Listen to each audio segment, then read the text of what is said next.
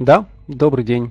Спасибо большое, что представили меня. Спасибо большое, что все мы здесь собрались. А, да, мы видим вот за последние, наверное, недели, а, несколько недель такой небывалый, скажем так, всплеск интереса. Да, добрый день, добрый день. А, это, конечно, не может не радовать. Я вижу, что а, собравшиеся здесь а, проводят время с пользой. Да. Не все из нас отдыхают, многие продолжают работать, но тем не менее все мы здесь. Еще раз здравствуйте. Очень рад всех видеть. Вот, а, как э, уже некоторым или многим известно, вчера у нас на вебинаре была затронута тема текстов, написания текстов для разных целевых аудиторий. И в продолжении, может быть, в поддержку этой темы, сегодня я веду свой вебинар. Называется он «Инфостиль. Пишем понятный текст». Угу. Сразу забегу немножко вперед. А, не первый раз я как бы на разных ресурсах об этом рассказываю. И, откровенно говоря, реакция слушателей, читателей, она бывает очень разной. Кому-то действительно это полезно, и люди об этом говорят, а кто-то говорит о том, что слишком просто, слишком очевидно, и вообще не надо тратить на это время. Но, тем не менее, я все-таки на личном примере убеждаюсь, что тема полезная, тема нужная. Я постараюсь продемонстрировать это в конкретных примерах.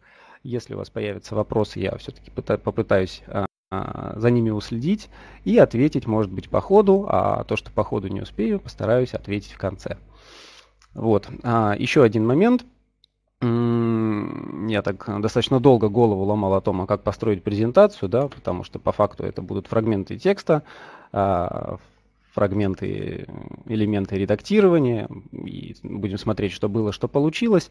И, конечно, презентация, которая рассказывает о текстах, да, она не сильно иллюстративная, поэтому это текст про текст, и, ну, давайте сосредоточимся, попробуем как-то живо это воспринять, ну и, в общем, вперед. А, давайте быстренько я пробегу от, ну, и расскажу о том, для кого это может быть а, полезно. Да, обычно, ну, скажем так, мы настолько часто с, сталкиваемся с написанием текстов, с чтением текстов, да, и вообще с работой вокруг различных текстов, что ну, не придаем значения, а, да, значит, добрый день, не придаем значения, насколько это важно и на самом деле сложно. Поэтому, если по роду вашей деятельности вы часто пишете какие-то презентации, там, я не знаю, записки, инструкции, ведете паблик или сайт, вообще общаетесь в деловой переписке, и ваши тексты адресованы какому-то кругу читателей, да, в том числе даже и одному читателю в переписке, для вас это может быть полезно. То есть если вы там руководитель, преподаватель, администратор, журналист или э, там ответственный редактор, может быть, да, хотя э, это уже несколько другой уровень, то я надеюсь, что тема будет вам полезна.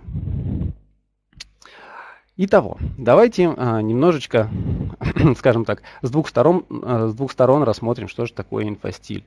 Да? Если говорить а, о основных принципах написания м, инфотекста, да, то это вот, а, наверное, можно назвать, ну, тут кто-то может со мной поспорить, я для себя выделил вот такие ключевые понятия. Это простота, это честность, это забота, имеется в виду забота о читателе, да, о том, кто будет ваш текст читать.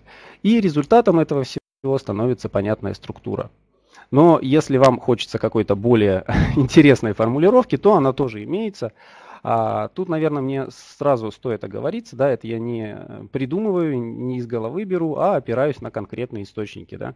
Честно говоря, опираюсь на м, один канал скажем так, информации да, от одного конкретного человека. Это Максим Ильяхов, а, ответственный редактор нескольких больших проектов и автор блога. И, собственно, ну, скажем так, с его слов на моей личной практике пытаюсь эту информацию донести. И если мы попробуем собрать какую-то адекватную формулировку, то инфостилем мы можем назвать а, набор приемов редактирования, которые помогают очистить текст от словесного мусора – а, делают его простым, понятным и, что очень важно, полезным для читателя. Максим Ильяхов. Да, я э, все источники, э, вижу вопрос, э, все источники, которыми я пользуюсь, я э, включил в конце в презентацию с некоторыми анонсами. И по ходу действия буду делиться ссылками, так что не переживайте. Да, все верно. Угу. Э, буду делиться ссылками, ни, ничье авторство себе я не присваиваю, только в тех примерах, а, которые сам там придумал, показал. Вот, поэтому с основными принципами простота, честность, забота, да, мы а, разобрались и какую-то формулировку дали. А дальше я постарался представить презентацию таким образом, чтобы мы с вами немножко поработали, наверное, больше над примерами, нежели чем разговаривали о какой-то теории. Вот, поэтому сегодня мы посмотрим примеры плохих текстов, да, благо их достаточно, они окружают их, окружают нас повсюду, да, мы настолько к ним привыкли, что м, зачастую не обращаем внимания, да, и относимся к этому как к должному, да, так не должно быть, мы сегодня это сломаем. А, отредактируем эти плохие тексты и сделаем их хорошими. Вот. А, также я покажу, как пользоваться, ну, не столько покажу, наверное, больше расскажу, как пользоваться инструментами редактирования, благо они имеются для разных нужд, да, и э, поделюсь источниками, да, о чем сегодня был уже вопрос.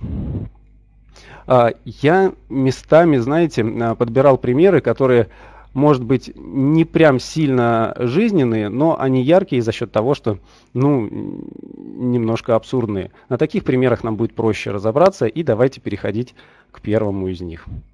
А, я не знаю, насколько будет вам видно то, что сейчас на экране, да, если кто-то с телефона, там, с планшета смотрит, поэтому некоторые вещи я буду зачитывать. Ну, а если вы видите, то вообще замечательно. Угу, я вижу плюсики. Все, вроде хорошо.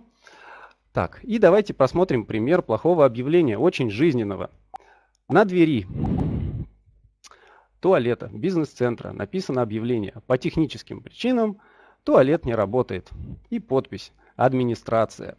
Да? Ну, в принципе, классическое объявление, которое мы видим там каждый день, и ну, нас это как-то уже не сильно а, возмущает, а стоило бы возмутиться.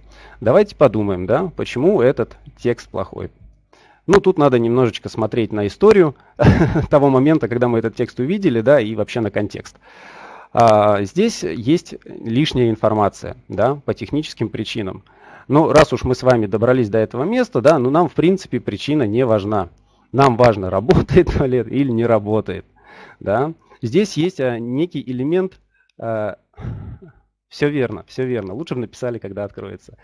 А, здесь есть элемент безответственности. Да? Многие авторы, особенно вот если туда в сторону всяких чиновников смотреть, а, сейчас без каких-то оценок, да, в сторону, вот, вот там это часто встречается. Такие подписи типа администрация, руководство и все такое, это элемент ухода от ответственности. Нам в этой ситуации администрация никак не помогает, а, ну, просто понятно, что какая-то некая абстрактная сила закрыла туалет и вот испортила нам жизнь. И совсем непонятно, что надо делать, да. Итого, текст у нас получился бесполезный, бесцельный, безответственный. Какую цель э, ставил автор перед собой, тоже непонятно, да. Ну, если как бы он закрыт, ну, закрыт, я туда не войду. Ну, максимум ручку не подергаю, да, что может быть в этих условиях как бы и важно. Ну, давайте попробуем теперь разобраться, как сделать из этого текста ну, что-то более полезное. Во-первых, мы уберем лишние слова, да, и уберем, собственно, технические причины, те самые, которые нам в текущей ситуации абсолютно не важны.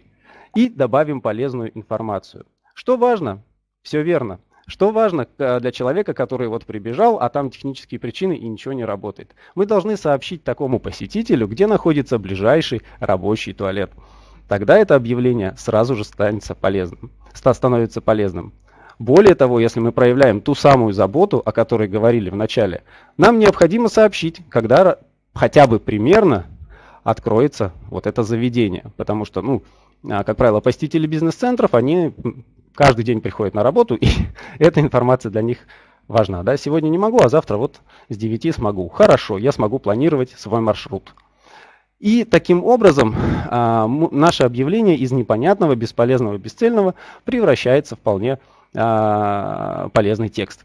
Более того, если мы а, возьмем на себя ответственность, да, и здесь, ну я не знаю, как называется должность, я вот написал главный сантехник бизнес-центра, да еще и телефон оставил. А, это ну, элемент заботы и ответственности, который а, для многих из нас может быть важен. Да? Ну, на самом деле, там, уточнить какие-то вопросы или, может быть, адресовать жалобу, для кого-то это важно. А здесь а, есть, возникают, да, Номер сантехника для кого? Согласен, пример немножко абсурдный. Но я уже э, говорю о том, что это элемент какой-то ответственности. Мы избавляемся от безликой администрации, да, и вот назначаем человека, который, собственно, из, от которого исходит этот текст. Угу. Здесь э, многие еще могут предложить, а где же извинения, да? А, ну, если для вас важно действительно извиниться, и вы реально чувствуете некую вину за собой, конечно, можно написать «извините», да, туалет не работает.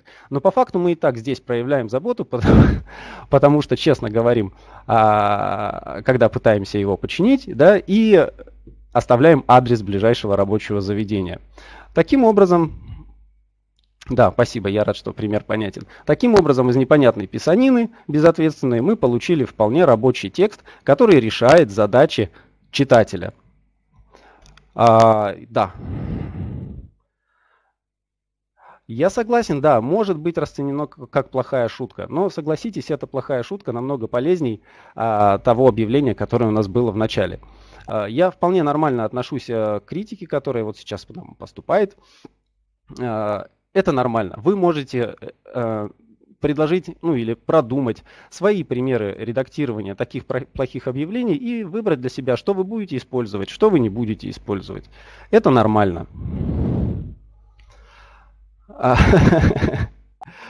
Да, можно было, согласен, да, можно было написать имя, да, что вот у, у главного сантехника есть имя. Это нормально, когда вы звоните и обращаетесь к человеку по имени, ему приятно. Окей, конечно. А, есть такая история, да, вот, допустим, как художник может свою картину там оценивать спустя какое-то время и принимать решение, что там можно было нарисовать вот так. Также и текст можно редактировать, э, сокращать, сокращать э, расширять бесконечно, и каждая редакция чем-то может быть лучше предыдущий. Мы с вами так глубоко, наверное, в эти примеры не будем уходить, а просто оцениваем какую-то ну, базовые параметры входящего текста и какие-то варианты решения. Вот. Угу. Так, стараюсь, стараюсь следить за вопросами. Э, да, вопросы непростые. Угу. Так, да, вот пишут, телефон Иванова нужен, если вдруг кому-то станет интересно, почему-то. Ну, это уже научный подход, да, если кому-то интересны причины и следствия, а, окей, как бы, почему нет? Если это в каком-то НИИ объявление, можно написать и о причинах. Но на, скажем так, больш, подавляющем большинстве случаев это, наверное, не нужно. Хорошо, я вижу, пошло творчество на тему уже редактирования. Спасибо, мне приятно, что вы участвуете. Давайте попробуем перейти к следующему примеру. А, мы с вами часто сталкиваемся с тем, а, что многие тексты, особенно когда они исходят от каких-то руководящих должностей, там, ответственных должностей, выглядят как какие-то рапорты, а, служебные записки. И вот для такого яркого примера я взял вариант фрагмент текста, из, ну, то ли анекдот, то ли шутка какая-то про рапорт полицейского. Да, давайте я зачитаю, и мы, наверное, если у меня получится, и мы обсудим, почему этот текст плохой. В результате преодоления оградительного сооружения собакой было произведено укушение с последующим заражением ноги пострадавшего Иванова ИИ, работающего охранником. Да, давай Давайте, так, давайте, ну я, наверное, зря, да, Иванова использовал в каждом примере. Давайте мы пока не будем ему звонить и вернемся к нашему тексту. Мы видим, что, ну, вот у меня не получилось прочитать этот текст на одном дыхании. Он очень сложный, в нем есть э, сложные синтаксические конструкции. Более того, в нем нет действия, да, потому что, как мы с вами знаем, если в предложении есть действие, такое предложение становится сильным. Более того, в этом тексте в одном коротком пассаже, скажем так, а, сведено, использовано несколько мыслей, которые тоже затрудняют восприятие. И того, как мы видим, а, произведено, да, да, спасибо, мы видим, что этот текст очень сложно читается. Нам приходится думать, да, напрягать мозги и тратить свое время для того, чтобы понять, что там, черт возьми, имелось в виду. А, такие тексты, вот если уж говорить совсем а, откровенно, да, такие тексты пишутся в, ну, в качестве каких-то отчетностей, рапортов, да, а по-простому говоря, в качестве отмазок, когда нужно что-то написать, куда-то сдать, подписать и забыть. Э, это абсолютно... Ой, простите, да, у меня бывают опечатки, Спасибо большое, что обращаете внимание. Я объясню. У меня есть такая штука, она называется дислексия. Вот. И э, я, когда пишу и читаю, вижу слово целиком, но, но есть такое, да. И не всегда вижу, что какие-то буквы перепутались местами или пропустились. Я за, за это извиняюсь. Есть, есть такое. Для меня это большой труд, э, особенно прочитать или написать какое-то новое длинное слово. Спасибо. Спасибо. Вот, давайте попробуем исправить этот пример. И, ну, опять же, вариантов много, но мы попробуем вот по-простому разобраться. Ну, как вы видите, много всего красного, да, это то, что мне конкретно сейчас не нравится. И давайте э, перепишем те пассажи, которые можно упростить, или они просто-напросто не нужны, да. Оградительное сооружение, по-простому, по-нашему, это забор.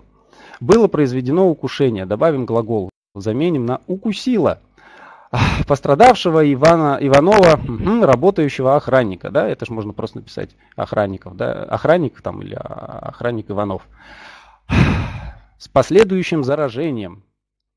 Очень Э, у вас классные вопросы. Я понимаю, что вы немного там на волне, может быть, со мной шутите, да. Я, честно говоря, сбиваюсь, но мне очень приятно, что вы э, участвуете.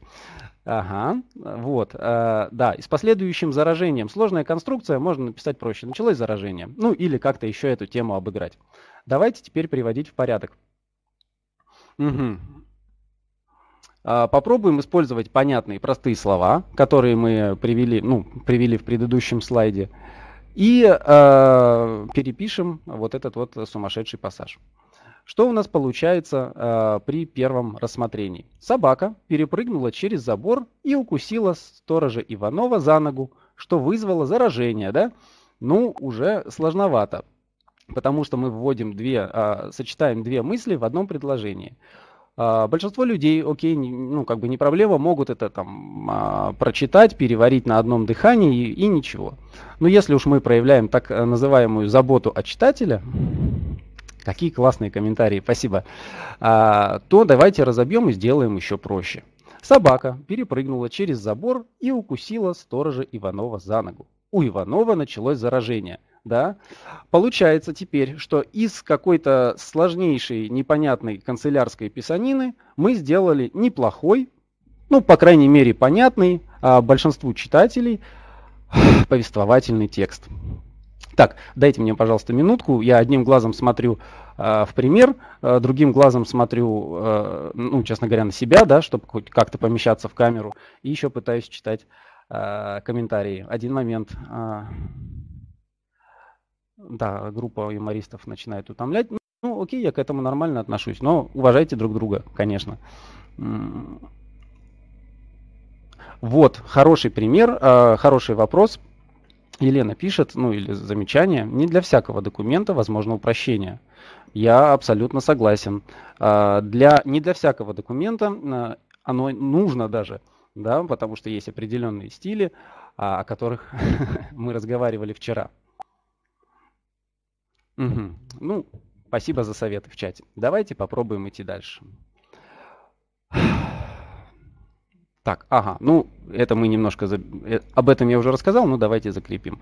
У нас получился э, достаточно простой текст, и как мы применили наши принципы. Мы э, упростили конструкции и заменили сложные пассажи и слова простыми. Текст стал простым, и его стало легко прочитать и стало легко понять. Честность. Это тоже очень важно. А, мы не прячем действительность и какую-то реальность за формулировками. Мы знаем, что а, во многих сферах, когда как бы, ну, страшно, да, или не хотелось бы говорить правду, используются размытые сложные формулировки, чтобы увести читателя от сути. Здесь мы достаточно четко об этом сказали. Может быть, не самый яркий пример, но тем не менее это здесь присутствует. Мы проявили заботу о читателе. Да, мы проявили заботу о читателе, ну, мы не говорим, да, что вот если вас укусила собака, значит, вам нужно там э, сдать анализы и, и уколы сделать. Нет, мы проявили заботу в том плане, что сэкономили время и не заставили лишний раз напрягаться. И да, мы в результате этого создали простую, понятную структуру. Ну, спасибо всем за участие. Давайте двигаться потихонечку дальше. Пример номер три. А, это фрагмент текста я взял, не скажу с какого сайта, для описания маленького компактного холодильника. Это реально сплошь и рядом у нас присутствует, поэтому это как бы не вымысел, а то, что вот мы видим каждый день. Давайте я попробую зачитать. Надеюсь, у меня хватит э, ну, сноровки, скажем так, прочитать такой текст. Полки холодильной камеры выполнены из сверхпрочного стекла, легко моются и позволяют выдержать значительный вес, а также их можно регулировать по высоте, что дает возможность размещать продукты в холодильной камере, максимально используя ее объем. Ну, смотрите, а, что в этом тексте плохо? Понятно, что много мыслей собрано в кучу, да, причем из разных областей этот текст не получается, ну, может, у кого-то получается, у меня не получается прочитать на одном дыхании, мне сложно. И здесь очень большое количество необъектив, необъективных оценок, да, и еще которые не подтверждены фактами. Э, если уж совсем честно говорить, то, ну, собственно, всем понятно, что если в холодильнике есть полки, да, то там в 100% случаев их можно там переставить и, и так куда-то подвинуть, убрать, снять. Но, тем не менее, вот производитель или продавец пытается это выставить как преимущество, да, это уже некий вариант манипуляции или просто раздувания объема текста. Нам такая история не подходит. Давайте попробуем исправить этот текст и будем по ходу разбираться, а что же тут не так. Угу. Берем первый пассаж. Полки холодильной камеры выполнены из сверхпрочного стекла. Да, легко моются и позволяют выдержать значительный вес. Давайте сразу уберем не... Ой, пардон. Угу. Сразу уберем ненужное. Да? То, что полки легко моются, это, конечно, замечательно, но это а, не относится к теме этой... А, да, это маркетинг. А, это не относится к теме, собственно, нашего предложения. Сверхпрочное стекло. Классная формулировка, да, ни о чем нам не говорит. Насколько оно сверхпрочное, там, оно что-то выдерживает, или есть у него какие-то тесты, или кто-то что-то проверял. И говорится о том, что там а, эти полки выдерживают значительный вес. Ну, собственно, любой нормальный человек спросит, значительный это какой там? 100 килограмм это значительный, да, или килограмм? Непонятно. Давайте с этим потихонечку разбираться. Вот как раз, ну, я уже чуть-чуть вперед забежал, ну ничего. Давайте попробуем а, разобраться вот с этими, а, ну, как бы неподтвержденными а, заявлениями, да. Если там стекло, которое у нас моется, мы просто исключаем из этого предложения, то сверхпрочное стекло и значительный вес нам нужно как-то более формально обозначить или, может быть, подтвердить. Поэтому один из вариантов, как мы можем с этим сработать, выглядит примерно так. Стеклянные полки холодильной камеры выдерживают нагрузку и напишем нагрузку, например, 6 килограмм. Это я взял вот абсолютно из головы, просто придумал для наглядности. Очень хорошо, когда у вас есть реальные подтверждения и э, там факты, да, если вы приводите в тексте какую-то цифру, хорошо было бы ее где-нибудь в конце а, с ноской подтвердить. Вот, а, поэтому здесь я ставлю ну, какую-нибудь ссылку на сертификат соответствия. Да, если имеется, замечательно. На такую, и дальше мы пытаемся а, перевести вот эти цифры, не всегда понятные, в мир клиента. Да. Я сделал это достаточно просто, да, может быть, там, с, как, с какой-то долей юмора, которую там пытаюсь изобразить. Но тем не менее, у меня получилось так. На такую полку можно поставить 5-литровую кастрюлю с супом и две банки с вареньем. Ну окей, если кто-то не понимает, что такое 6 килограмм нагрузки на полку, он прекрасно знает, что такое суп, да, и варенье. И вот мы знаем, что на одну полку столько этого хозяйства помещается. Если банки трехлитровые, да, а, конечно, конечно, мы могли бы написать 2 литровые или 2 500 граммовые банки с вареньем. Какие классные комменты сегодня, спасибо. А, еще раз повторюсь, что редактировать и уточнять, упрощать, сокращать или развивать текст можно бесконечно.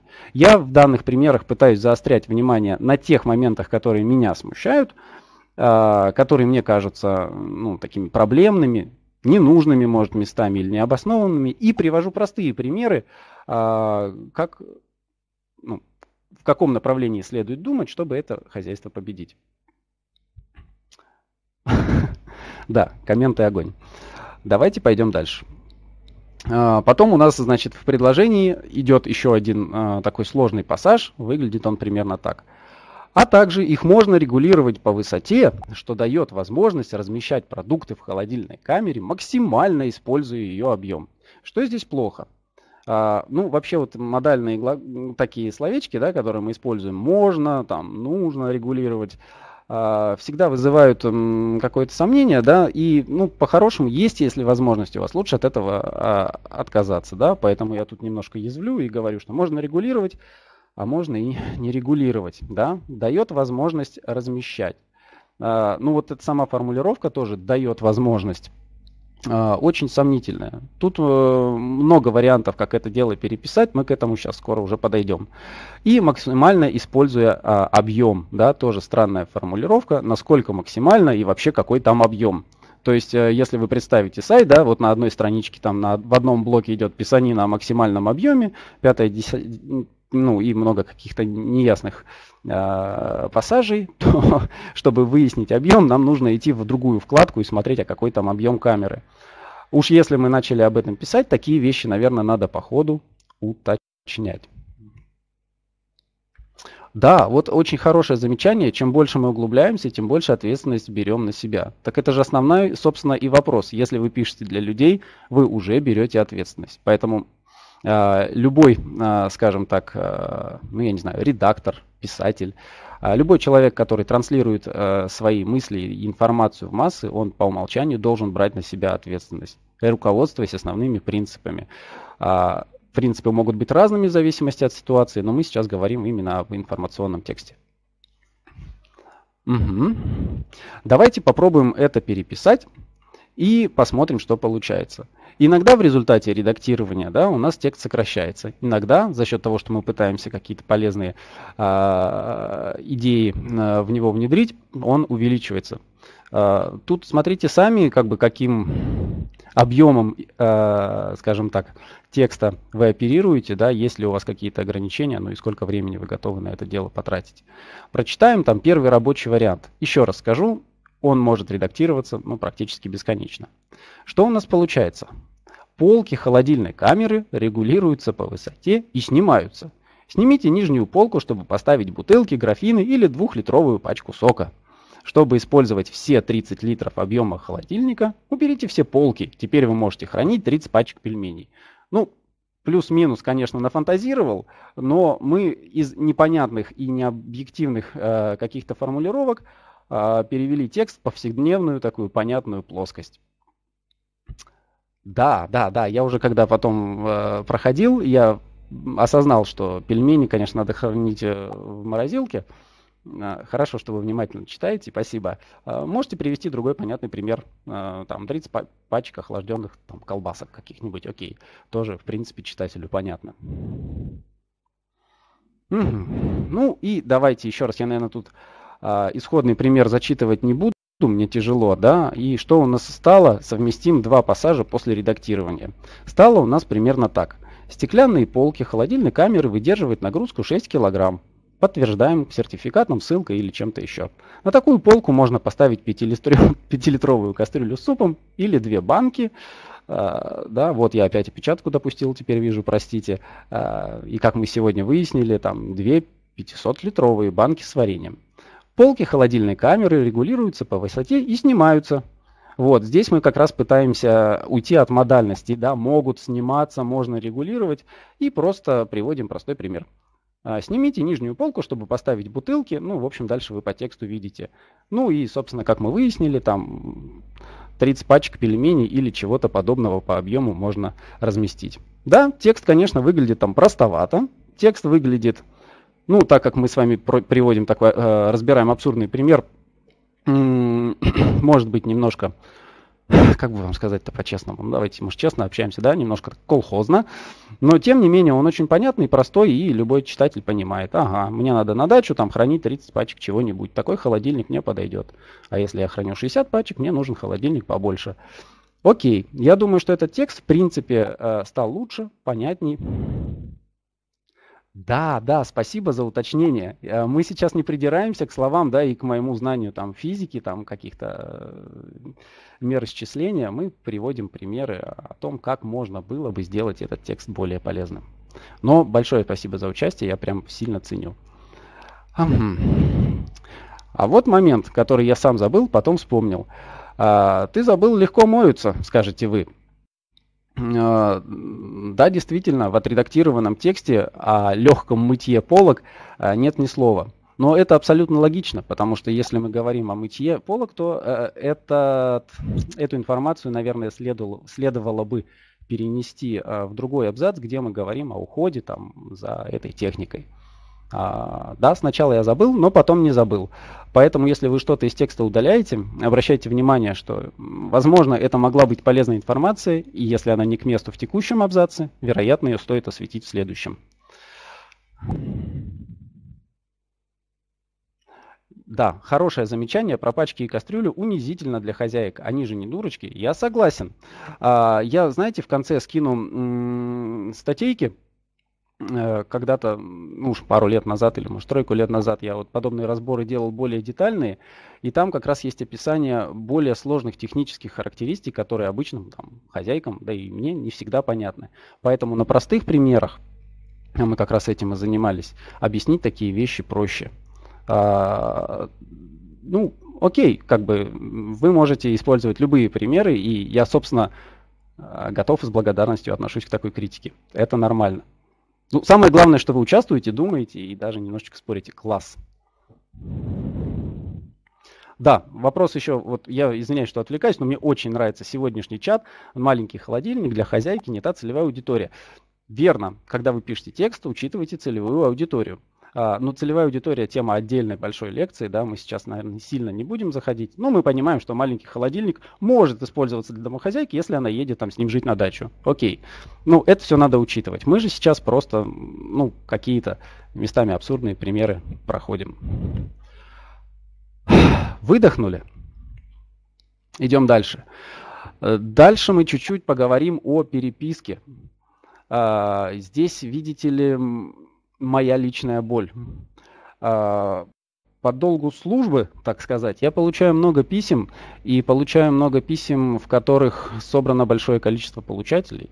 Некоторые из этих получателей должны стать ответственными или исполнителями а, того, что там написано. Да? И вот поэтому небольшой такой цементированный скрин из э, почты. Давайте я попробую его прочитать. Может быть, сохраню эмоции, если это получится. И с вами двинемся дальше. Коллеги, доколе, срочно исправьте часы работы на сайте. Замените телефоны в Яндекс справочнике, не забудьте. Вчера просил добавить логотип. Уже второй месяц не вижу планов отделов. Где отчеты? Кстати, премии перенесем на июль. Срочно мне все сдать. Уверен, многие из вас что-то подобное получали, а может быть кто-то такое и пишет. Ну, как бы это норма жизни, но давайте разбираться, как можно было сделать это письмо лучше. А, в этом письме перечислено очень много дел, которые, которые нужно сделать. Очень много получателей, но при этом абсолютно непонятно, кто должен сделать, что должен сделать и когда. А самое еще вот интересное, я не написал, да почему же это все надо делать, насколько это важно. Ведь все мы понимаем, что если мы даем поручение человеку, с большей вероятностью он его выполнит, если понимает значимость и разделяет значимость э, вот этого поручения. Давайте попробуем разобраться. А, смотрите, я сейчас чуть-чуть забегу вперед, но я думаю, следует это сделать. А, у этого письма есть плюсы, несомненные, да, и есть минусы. Мы сейчас обговорим. Что в нем хорошего, да? Оно эмоциональное. Эмоциональное письмо всегда, ну или обращение, я не знаю, видео, текст, все что угодно, а, лучше воспринимается читателем, да, особенно если мы в одну волну там эмоционально попадаем. Окей, письмо эмоциональное, это хорошо. Оно простое. Мы видим, что оно простое со звездочкой. Да, а звездочка у нас значит, э, что оно простое э, в плане именно синтаксических конструкций. Да, действительно, там мысли вынесены, может и не вполне формализованные, но вынесены в отдельные простые предложения, и если а, мы воспользуемся а, инструментом анализа текста именно по структуре, по простоте, то этот текст будет иметь довольно высокую оценку. Понятные простые предложения, их немного, текст короткий. Да, структурно оно простое. И оно честное, да, честность исходит о том, мы видим, что, ну, собственно, автор письма недоволен, выражает эмоции. Все верно. Это хорошие, а, хорошие черты этого письма. Да, сейчас замечают о том, что в деловой переписке э, эмоции лишние. Э, эмоции это лишние. А, здесь, ну, в глобальном понимании, да, согласен, но если вы находитесь на таком уровне, что можете через эмоции э, достигать каких-то своих целей, то в этом случае эмоции можно использовать, да. Э, там какое-нибудь сообщение с грустным смайликом вызовет больше эмоций, но это уже вопрос не деловой переписки. Хотя здесь об этом тоже можно долго говорить. Ну, давайте вернемся к примеру. Э, давайте разберем, а почему же э, этот текст плохой. Нас призывают действовать срочно, да? Ну давайте поговорим, что такое срочно. Срочно не всегда значит быстро. Срочно не всегда значит, что мы должны бросить все, чем мы занимались, и делать то, что нас попросили. А само значение слова «срочно» означает, что у данной задачи и поручения есть конкретный срок, да, дедлайн так называемый. А, и, соответственно, точность, срочность э, должна сочетаться с определенной важностью. Если э, получатель не э, понимает и не разделяет срочности, или у него есть также срочные важные задачи, вообще непонятно, что делать. Дальше. Это письмо адресовано разным получателям, которые отвечают за разные задачи. И когда мы их всех собираем в кучу, вот я руками пытаюсь показать, собираем в кучу, а возникает некоторый, ну, бардак, да, откровенно говоря, бардак, никто не знает, а к кому конкретно обратились. И в этом письме требования перемешаны с информированием. То есть мы требуем, требуем, ах да, забыл, премии не заплачу, и вот э, дальше. В таких случаях, конечно, разделяются требования отдельно, информирование отдельно. А, желательно так делать. Угу. И в этих, э, в этих терминах, э, в наших терминах сегодняшнего общения, в этом письме нет структуры. Ну, как бы формально она есть, но по факту ее нет. И нет заботы, да, то есть, э, и как эту заботу, структуру добавить, давайте сейчас поговорим. Да, все верно, нужно структурировать информацию. Угу. Вот классное замечание. Судя по тексту, все сроки уже прошли. Верно, все сроки уже прошли. Но это не значит, что нам уже не нужно ничего делать. А, нужно вчера, это как бы да, но это не срочность, это уже какое-то сожаление. Давайте попробуем разобраться с первым пассажем. Доколе срочно исправьте часы работы на сайте, замените телефоны, да, и там всем не забудьте. Что нам нужно сделать, чтобы этот пассаж заработал? Нам нужно назначить ответственного. Нам нужно уточнить информацию а, нужно объяснить важность и действительно добавить реальной срочности. Давайте попробуем. Угу. Сразу возникают вопросы у тех, кто читает это письмо. Исправьте часы работы. Да? Ну, нужно спросить, а какие, собственно, часы у нас э, сейчас посмотреть, да, и исправить на какие. Ну, вы же понимаете, что если мы в первом письме, э, как бы в письме, который инициирует какие-то действия, э, даем недостаточно информации, то э, дальше в лучшем случае э, возникает уточняющая переписка, да, и мы задаем как раз источнику вот эти самые вопросы, да, какие нужно часы работы поставить. А в худшем случае так как у нас а, получателей много, все сидят и ждут. Может быть, кто-то уточнит, а вдруг это не меня касается. Поэтому, если вы инициируете, инициируете такое письмо, потратьте время начала э, э, при создании первого письма на уточняющие моменты. В таком случае вы избавитесь от последующего шквала неструктурированных вопросов. В лучшем случае 10 человек спросят одно и то же, в худшем случае они будут сидеть и ждать, пока это само прилетит. Вот, так что давайте по вопросам пройдемся. Исправьте часы работы. Да, мы уточняем, какие часы нужно поставить. На сайте, вот у меня их, по-моему, 12. Вот, на каком сайте нужно исправить часы работы? Непонятно. Замените телефоны. У меня два телефона. Какой нужно заменить, на какой? Непонятно. В Яндекс справочнике не забудьте, да, у меня в Яндекс справочнике три организации. А для какой я должен что изменить? Непонятно. Опять же, срочно. Почему срочно и когда нужно сделать? непонятно. Так, я сейчас, мне прям в чат интересно заглянуть. А, если, да, если а, директор уже давал под, подобную информацию, следует повторять то же самое каждый раз. Классный вопрос, вообще отличный. Знаете, как бывает? А, это зависит от количества каналов связи, которыми вы пользуетесь. Если вы для там, основной и лучше всего единственный канал переписки там, для вас это почта, то в таком случае нет, не стоит писать еще раз, да, лучше сделать ссылку на предыдущее письмо или хотя бы сказать, я уже писал такого-то числа. Вот. Но бывает как, а, там, поступает телефонный звонок, э, и в нем тебе сообщается, что посмотри скайп, и я там присылал ссылку на документ, о котором вчера писал в почте.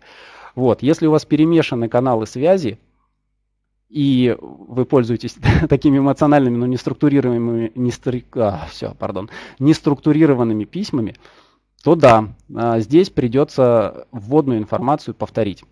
А, зависит, конечно же, от контекста. Так, еще один момент. Требования постоянно изменяются, поскольку над одним руководством стоит другое. Да, а, требования постоянно изменяются, поскольку над одним руководством стоит другое руководство. Есть такое.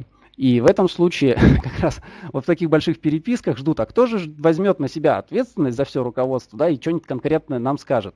Поэтому если вы ответственный руководитель, да, или работаете с ответственным руководителем, а, эта забота ляжет на вас. Давайте попробуем исправить то, что мы сейчас с вами бурно обсудили. И вот маленький конкретный пример э, приведем в какой-то понятный вид. Еще раз, исходный текст мы читали, повторять не буду. Что мы здесь делаем? Э, в идеале, в идеале э, потратьте свое время, чтобы разделить получателей. Если э, для одной, группы лиц у вас идет одни задачи, для другой другие. Напишите два письма. Если у вас нет времени писать два письма или желания, тогда обратитесь к исполнителям по имени. А, а если имя одинаковое, то еще и по фамилии. Таким образом вы сэкономите кучу времени, назначите ответственных, и с большей вероятностью э, случится то, чего вы просите в письме. Давайте посмотрим, э, как ну, при ближайшем рассмотрении это письмо могло бы выглядеть. Артем, исправь часы работы на сайте таком-то. Поставь там с 10 до 18 без выходных. А почему на ты? Сразу классный вопрос. Я с своим... Э, нет. Мой руководитель со мной общается на ты. Это нормально. Если у вас э, в, в, в коллективе другая этика общения, без вопросов. Ну, мне на ты нормально и как бы без вопросов. Э, кому как? Я, я ну, как бы повторяюсь культура разная бывает. Ну вот и сейчас, ну мне эта тема интересна, сейчас к примеру вернемся. А, я, когда общаюсь там с, скажем так, партнерами, подрядчиками, исполнителями, там, аутсорсом, а, у нас, в принципе, в большинстве случаев общение идет на «ты».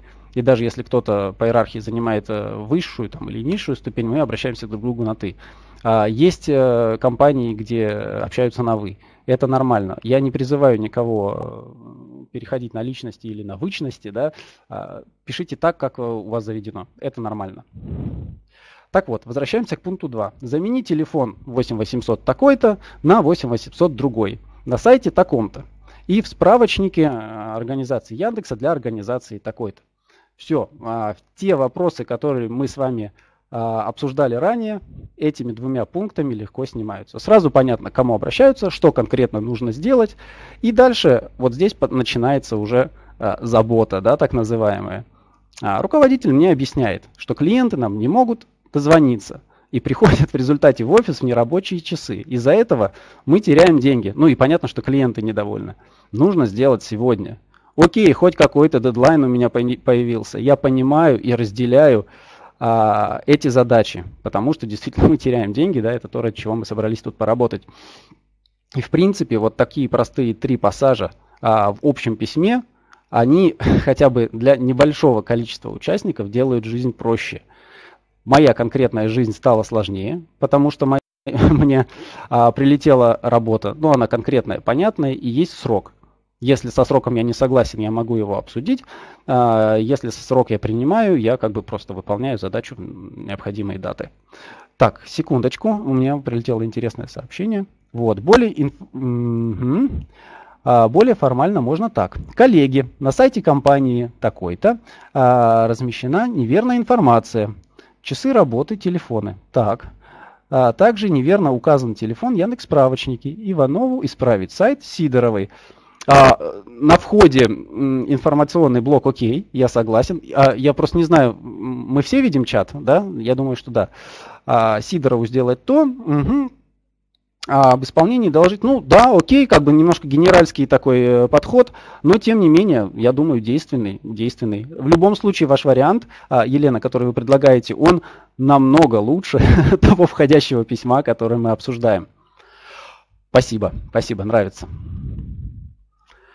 Вот, поэтому давайте здесь чуть-чуть еще по чек-листу деловой переписки э, поговорим. Э, я немножко в кучу все навалил, да, и когда мы э, в формате такого живого общения, даже онлайн-общения, у нас иногда фокус скачет. Вот, поэтому чек-лист, я думаю, будет полезен. Если нужно затронуть несколько тем или обратиться к нескольким ответственным, напишите несколько отдельных писем.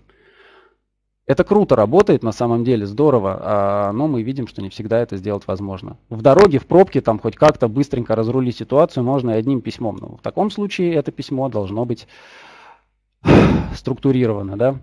Мы сейчас не будем смещаться в тему мессенджеров и голосовых сообщений, это прям отдельная история, но даже когда вы отправляете голосовое сообщение, все те а, правила, о которых мы говорим, ну, даже не правила, наверное, да, а, ну, особенности, моменты, которые мы обсуждаем, тоже желательно должны быть. Обратитесь к ответственным по имени. Это прям вот обязательно, да, а, для того, чтобы разделить, собственно, а, исполнителей от ней исполнителей. И что важно, это на самом деле тоже элемент заботы.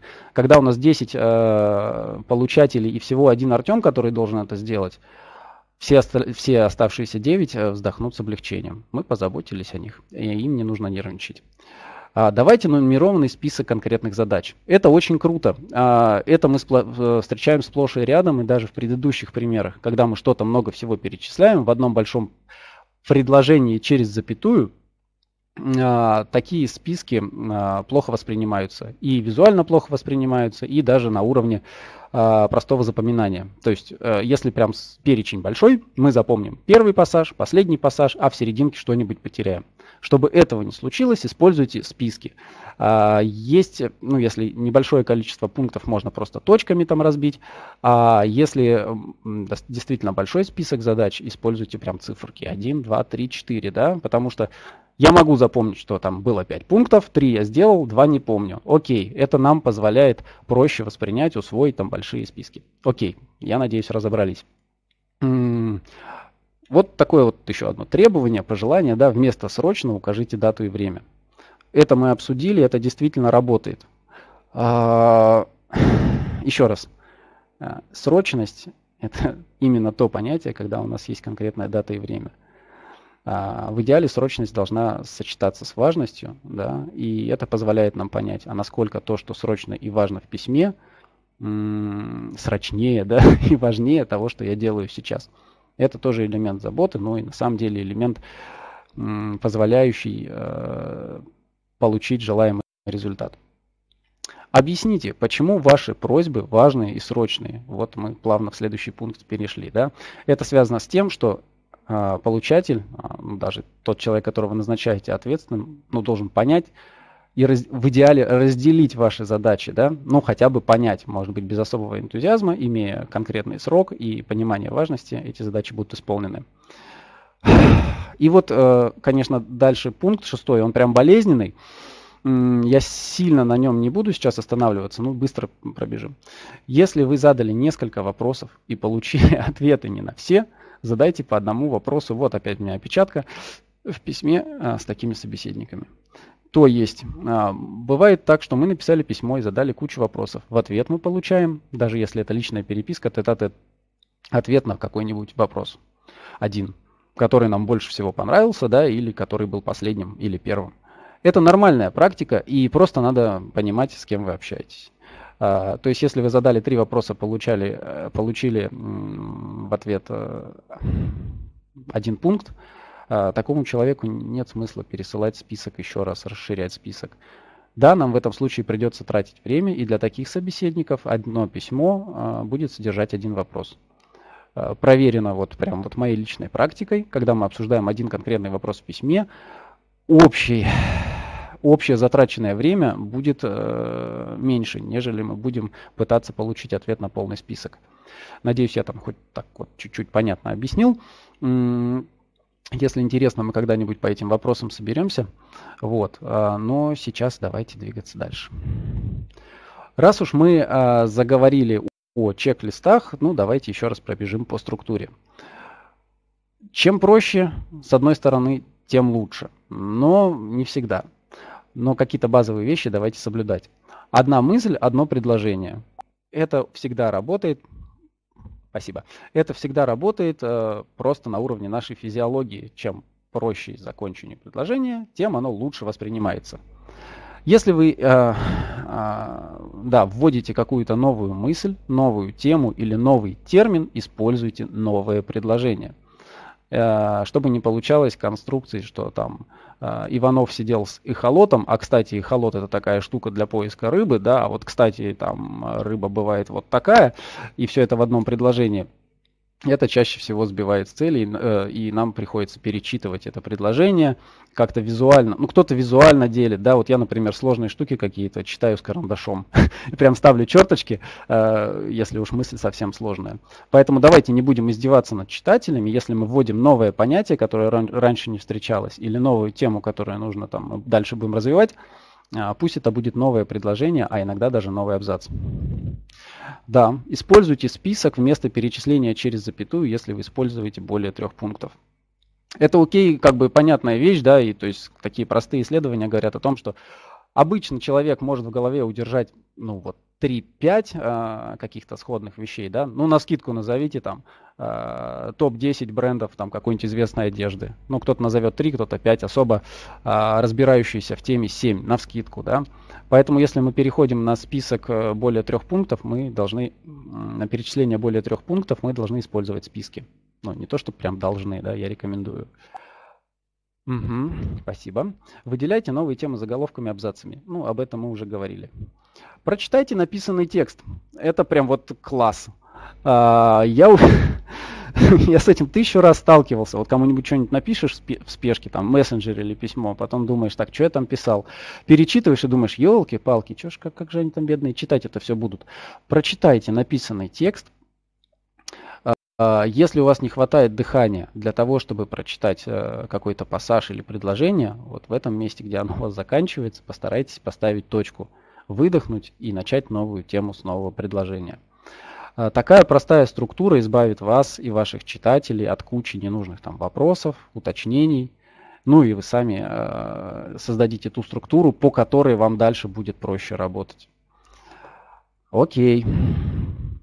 Дальше я попытался уже э, перейти в чек-лист для описаний, но на самом деле не стал раздувать, на двух пунктах, на двух пунктах остановился.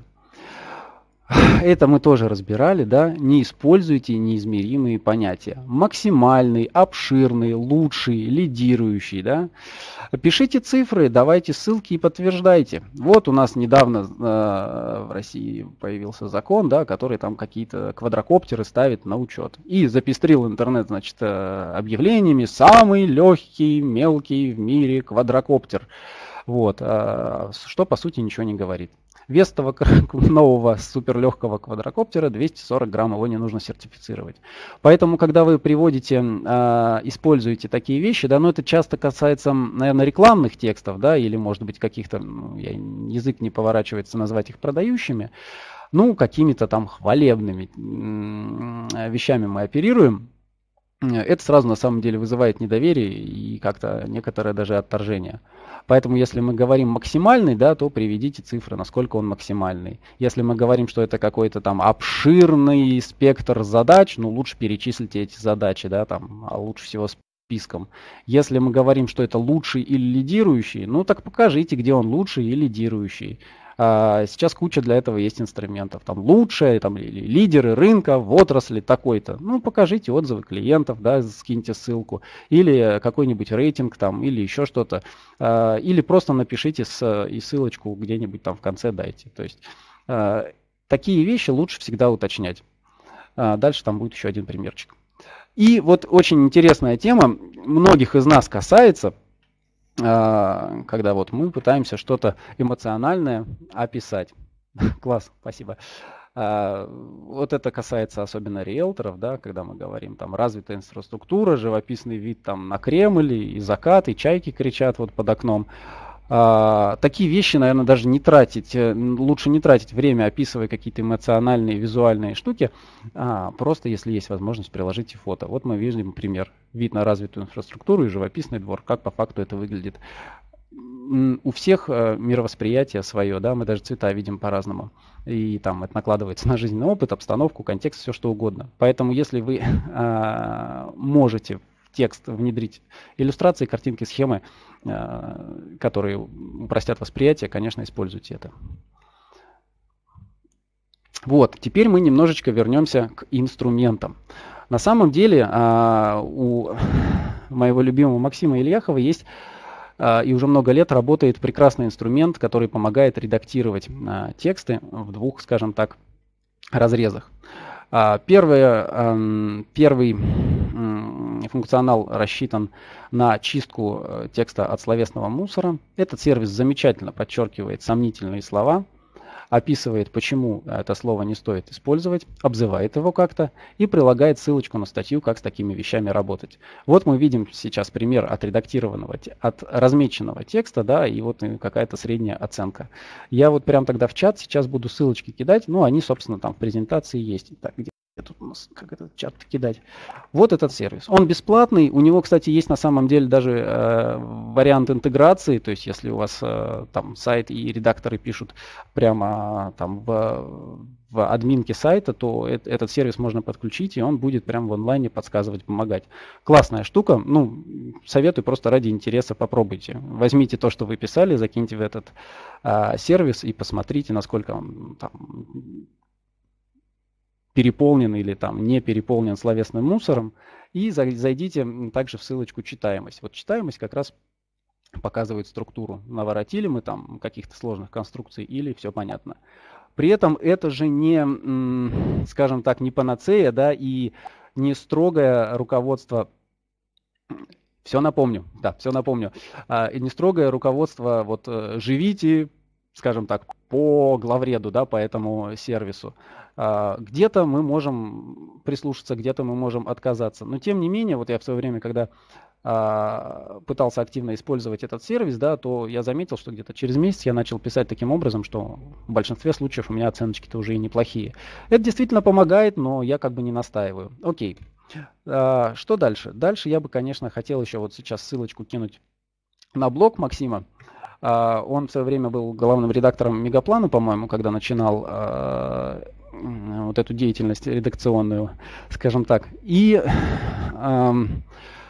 там за много лет на, накопилось огромное количество статей, э, разборов текстов, примеров, он отвечает на вопросы.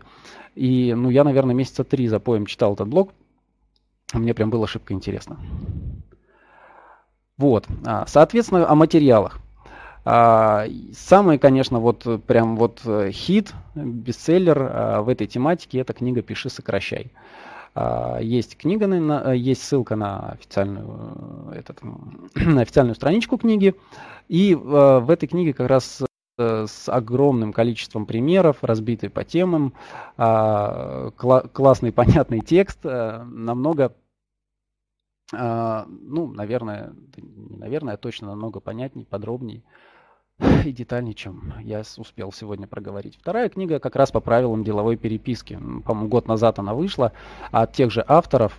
А, там чуть меньше идет именно о словесном мусоре, больше о структуре, мотивации. Ну и, в общем, тоже классная книга. Опять же, блог, а, о чем мы говорили. Сейчас, секундочку, кто-то пытается нарушить наше, наше, наше общение. А, опять же, ссылочка на блог, а, то, что я присылал. И да, да, да, да. Ага. И я бы хотел, знаете, вот немножко личные цели, да, преследовать. Ну, хотя, честно, выгоды я никакой не получу. Я в чат положу две э, ссылки на статьи, э, которые я когда-то писал. Ну, теперь перечитывая их, я там, конечно, много что исправил бы. Но, тем не менее, там есть конкретный разбор текстовый больших примеров реальных. То есть в одной статье мы разбираем о том, как написать текст об организации. Берем прям текст живой организации, препарируем его, убираем ненужное, добавляем нужное, подтверждаем фактами и смотрим, что получилось. Там в комментариях, конечно, идет война, да, со многим я согласен, с чем-то готов поспорить. Но, как бы, если интересно, прочитайте. И второй текст как раз о том, как описывать товары на там, коммерческих сайтах. Опять же, с использованием инструментов редактирования и э, пытаемся писать в инфостиле. А, вот там как раз мы сегодня затрагивали, да, о том, что вот э, там пельмени это унизительно для домохозяек или не унизительно. Там на более сложных примерах э, большие такие пробы пера в э, плане редактирования. Вот, а, наверное... А, ну если вот вы, мне еще минутку уделите, быстренько про сложные слова, примеры. И сразу скажу, что опять же у Максима Ильяхова есть прям огромный постер там во всю стену, стоп-слов. А, он, он, он платный, но как бы если вы этим пользуетесь постоянно, лучше, наверное, даже купить. Это не реклама, это просто вот, ну, это есть. Если мы используем в, в, наших текстах слово «любой», а, ну, собственно, это сразу вносит какую-то неясность. Давайте заменять на конкретный перечень. Один из, если мы указываем, то нужно указывать какой именно, да? Один из лидеров рынка, ну, а по факту это 101 в списке Forbes, например, да? Если мы используем, вы прощаетесь, наверное, да? Вот, э, если мы используем такие слова, как более, а, то нам абсолютно точно нужно привести какие-то цифры и указать, с чем мы сравниваем. Лучший Э, самый лучший, вот как только не говорят. Опять же, такие э, значимые слова лучше подтверждать рейтингами, отзывами. Если не можете подтвердить, такие вещи удаляйте. Мы помним, что один из принципов э, это честность. А вот интересный пример, я его, честно говоря, украл. Когда мы пытаемся усилить а, и заставить читателя поверить, мы используем слова типа правда, действительно, там честное слово, реально. Как правило, это свидетельствует о нашей, о нашей неуверенности в своих словах. Да? И вот прочитайте, например, пример. «Я тебя люблю, правда, честное слово». Ну, обычно это звучит хуже, чем просто «я тебя люблю», да, вызывает сомнения. Еще вот очень слово интересное, модное сейчас. Продукт. Продукт. Продуктом называется сейчас все, что угодно. А, программа, сервис, вебинар, э, молоко – я не знаю, анекдот, э, стрим, все что угодно сейчас называется продуктом. Поэтому слово классное употреблять охота, но, как правило, не надо. Называйте вещи своими именами. Так и пишите. Сайт, книга, молоко. Вот. Да, продукт своей эпохи. Вообще непонятно, кто это. Ага. Да, да, да, классные комментарии. А, вот продукт есть еще проект, да, проект молока, замечательно. А, поэтому, ну, хочется использовать слово, используйте. Ну, тогда уточните, что вы имеете в виду. Вот, наверное, на текущий момент у меня все. А, спасибо большое. Я прям с большим удовольствием читал чат. Мне я прям, вот, прям я вами горжусь. Если есть вопросы, пожалуйста, задавайте. Спасибо.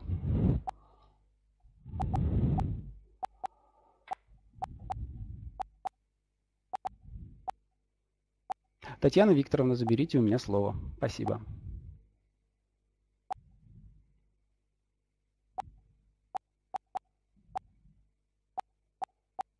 Класс, я прям сижу, читаю, улыбаюсь. Замечательно. Спасибо вам огромное.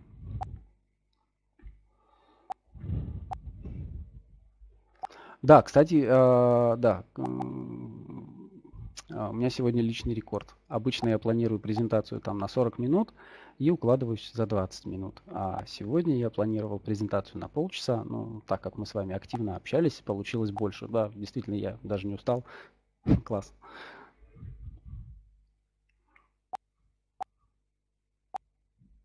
Нет, э, ну то, что вы отвлекли, это замечательно, да, я вот а, реагирую на сообщения. Ну, мне по факту удобнее от, отвечать по ходу. Ну, некоторые вещи, которые сложные, конечно, приходится в конец списка, но сегодня мы справились. Да, спасибо.